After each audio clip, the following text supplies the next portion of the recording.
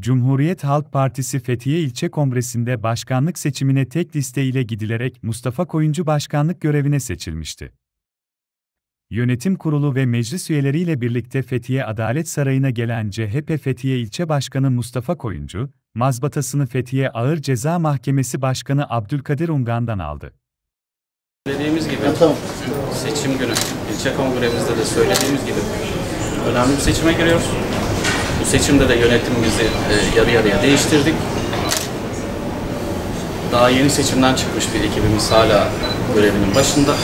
Biraz daha gençleştirerek e, genç kadromuzla önümüzdeki seçime hazırlanıyoruz. Hazırız. Sahada olacağız bundan sonra. Teşekkürler.